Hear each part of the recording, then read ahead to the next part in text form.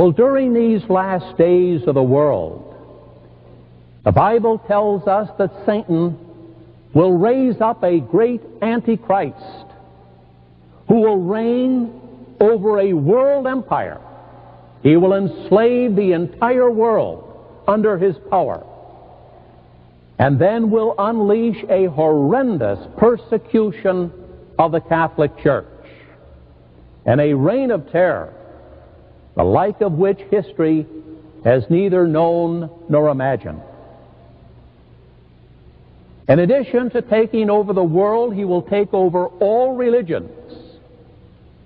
He will subdue all churches. And he will combine and amalgamate them into one great world religion and eventually make every human being bow down and worship him as God under penalty of death by starvation.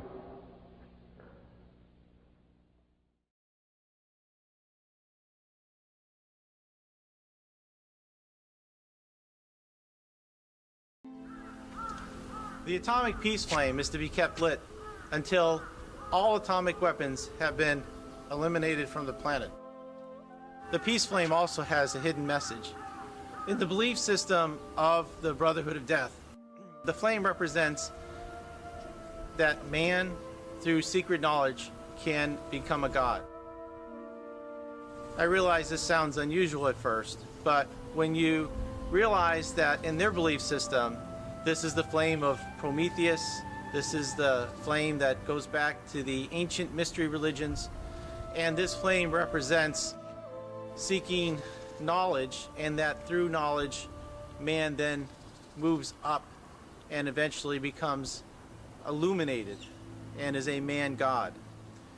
This is a belief that was shared by many people uh, throughout history. The pharaohs of, of ancient Egypt are prime examples.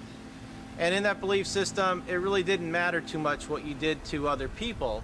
What really mattered was at the end of your life, how much wealth and power that you accumulated.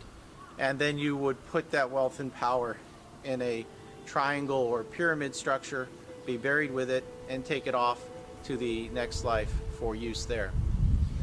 That's why you will see many of the symbols from ancient Egypt in secret societies such as Freemasonry and here in monuments at the Hiroshima Atomic Bomb Museum as well as at Nagasaki at the Atomic Bomb Museum and Peace Park in that city.